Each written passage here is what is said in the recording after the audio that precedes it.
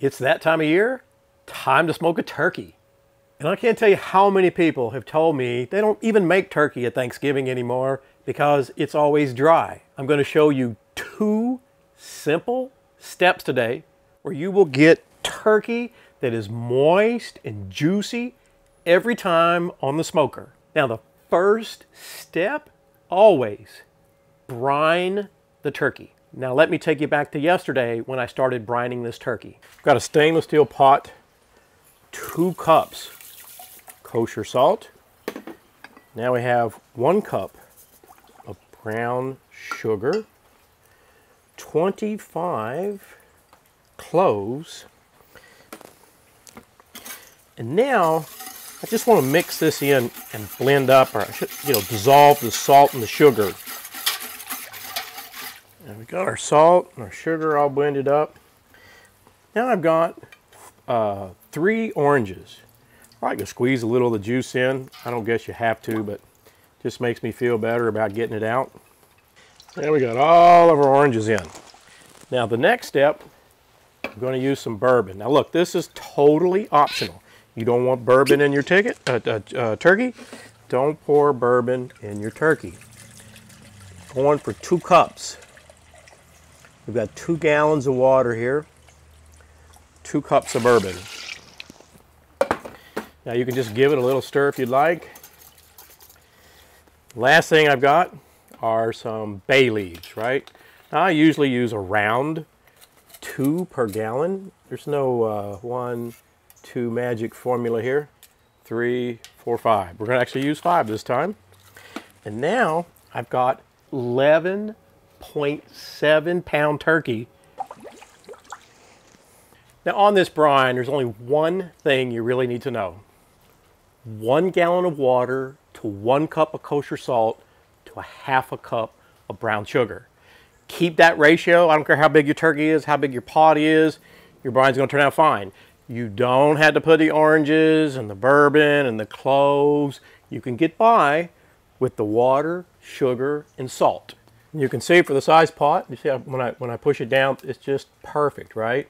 So you can, some people will fill, like fill this full of water to hold it down, and I'll, uh, but it looks like it's gonna keep it down in our uh, brine. Then I'll just simply put a lid on it. I'm going to move this entire pot to the refrigerator overnight. Now this turkey is brined for 24 hours. We're going to take it out of the brine. I'm going to show you how we'll prepare it. So we're just going to get this lid off. And here's that uh, container. I just filled it with some water. It helps keep the turkey from floating up. But you can see it's uh, covered up here. We want to take this turkey out of the brine.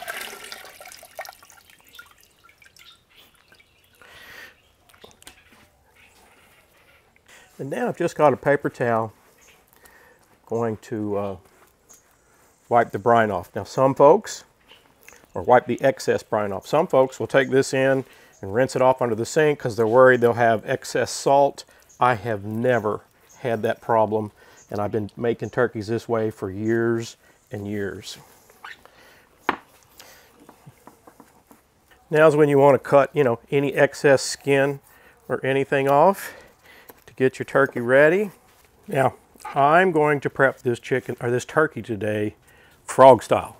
You don't have to do this, but it helps it to cook more consistently and actually a little bit quicker. So you just want to cut down through here.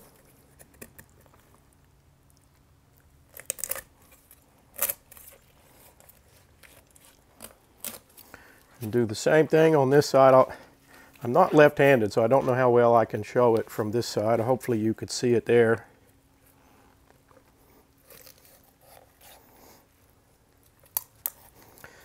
Just, you'll, you'll see this little bone inside. Just cut right down on the back there. Just far enough you see how you can start to manipulate the breast here. So we're going to turn it upside down. And then we're going to pop this breast out. And you may have to go in there and trim it a little bit more if you didn't trim it enough. Okay, and you push down like so. And you can start to see how it looks like the shape of a frog.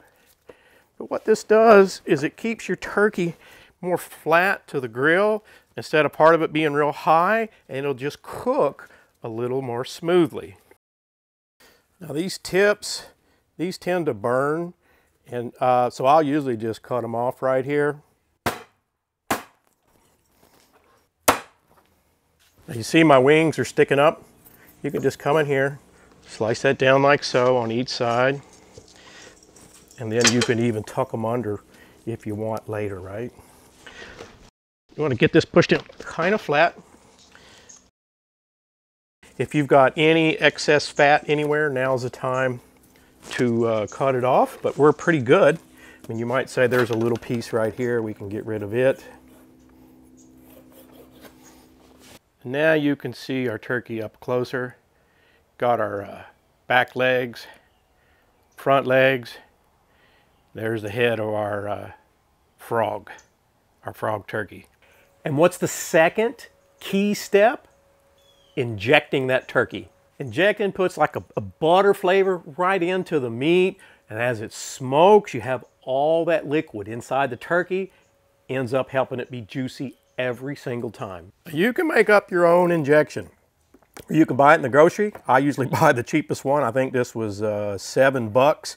It comes with the needle, right? If you're only gonna do this once or twice a year, this is a simple way to do it. So what I usually do is get a bowl or a glass, pour some in here. That way you won't contaminate the rest of this, right?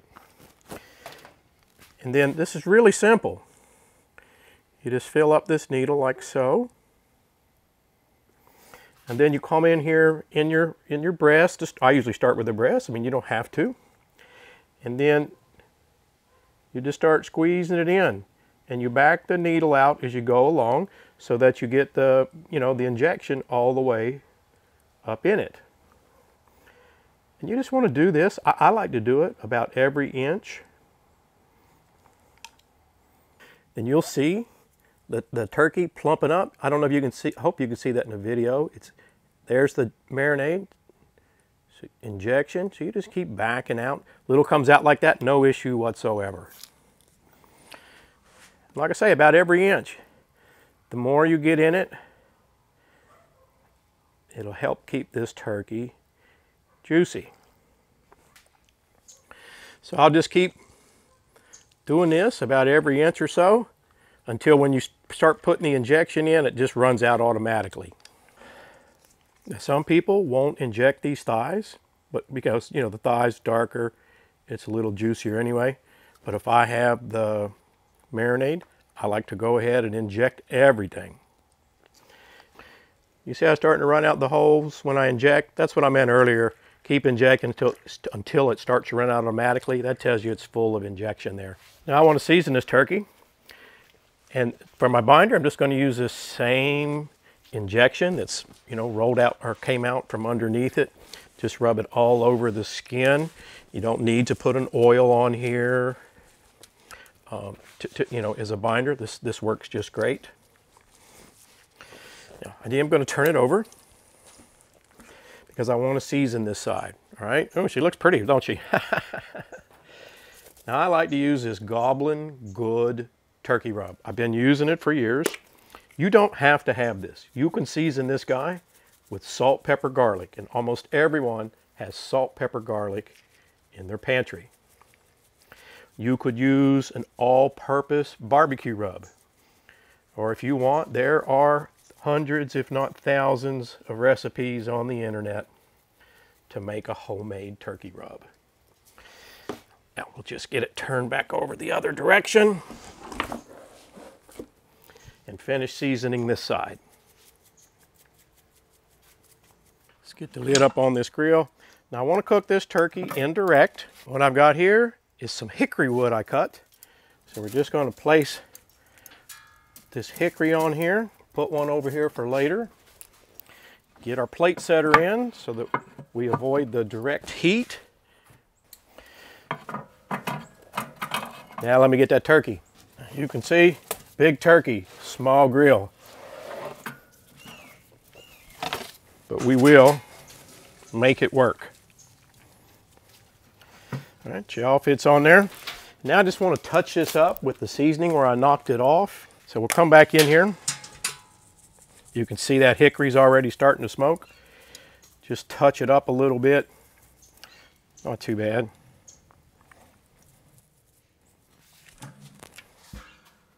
Now while that turkey's smoking, let's make a glaze. I've got one stick of butter I'm melting down. Here I've got some maple syrup. Now this is right around a cup. Could be a little more, but I mean, not, we're talking like an ounce more, not much, right? So butter, maple syrup, and then I've got some more bourbon, right? We're gonna come in here, we're gonna try half a cup. Now be careful, right? If this pan is really hot and you start pouring alcohol in it, you can get a flame up. So be careful there. And then I've got that same Goblin Good turkey rub. You can use any kind of barbecue rub you want for this step. One teaspoon, what do you think? Two teaspoons roughly, maybe a tablespoon. Let's get that in there. Now the final thing I like to do, and you don't have to do this, I like to put a little cayenne, maybe a half a teaspoon. Doesn't take a lot. Like I said, it's optional. You don't want any spice, don't use that. What I'm going to do, as you can see, we've got some simmering going on here. Just simmer and stir now and then till this sauce thickens up a little bit. When you make a glaze of any kind, I recommend you give it a taste before you decide if it's ready or not. All right, I'm just gonna stick my finger in this spoon. It's pretty yummy, but I think I'm gonna put another half a cup of bourbon in there. And for those of you that don't want to cook with bourbon, you can use apple juice. But again, I think I would start with a half a cup to make sure you got it the way you want, right? So we ended up with one cup of maple syrup, one cup of bourbon, one stick of butter, and then we had maybe, maybe a half a teaspoon of cayenne. Oh yeah, and I don't want to forget, we put that uh, two teaspoons to one tablespoon of our barbecue seasoning in there also. It's been two hours, two hours, 15 minutes. That turkey's up to around 158-ish, depends on, you know, where you stick your temp probe. We're gonna hit it with that glaze. Just gonna put a light layer of that glaze on this turkey. You can see nothing too thick. Just want to glaze this guy all up. When you're glazing this, you just kind of want to dot it on or pat it on. You don't want to, you know, get rid of your rub you got on there, right? Just a nice light glaze. And then that gives you kind of a good look at the color on this turkey. Now we're going to get the lid down and let it keep cooking. Total cook time, two hours, 45 minutes. Get our lid up here. There she is. It's got that beautiful color. Beautiful color on that turkey. Looks juicy. Can you see the juice in here? Just want to get our temp probe out. There's our frog turkey. Got a great looking color. You can just see juiciness on that skin. Here you can see, you can see the moisture. This turkey is going to be delicious. So now let's try to figure out how to get this turkey out without damaging anything. Now let's cut into this turkey and see if it's juicy. Just going to cut a piece right off this breast here. overlay it. See the juice on the board? Look here. Look at the juice in this turkey. Just hope, hope you can see that. There's our injection. Look at that. Super, super juicy. And there, there's a close-up where we just cut off. Can you see the juice in this turkey? I'm telling you, it's juicy on the outside, it's juicy on the inside.